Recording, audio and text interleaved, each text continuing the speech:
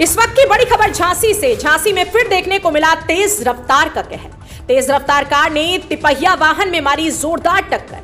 आपे पलटती हुई पोल से टकराई। घटना में आपे चालक हुआ गंभीर रूप से घायल।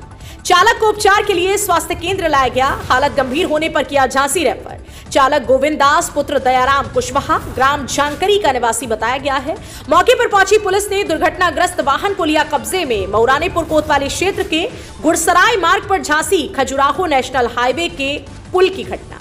ये बड़ी खबर झांसी से आप देख रहे हैं न्यूज़ थर्टी एक्सप्रेस टीवी पर, जहाँ पर तेज रफ्तार का कहर एक बार फिर देखने को मिला है। तेज रफ्तार कार ने तिपहिया वाहन में जोरदार टक्कर मारी, जिसके चलते आपे पलटती हुई पोल से टकराई। घटना में आपे चालक गंभीर रूप से घायल हो गया है, जिसकी हालत गंभीर होने पर झांसी रेफर कर दिया गया है, जो कि चालक गोविंद दास, पुत्र दयाराम कुशवाहा, ग्राम झांकरी का निवासी बताया गया है। फ़िलहाल मौके पर पहुंचकर पुलिस ने दुर्घटनाग्रस्त वाहन को अपने कब्जे में ले लिया। मऊरानीपुर कोतवाली क्षेत्र के गुड़सराय मार्ग पर झांसी खजुराहो नेशनल हाईवे के पुल की घटना बताई जा रही है।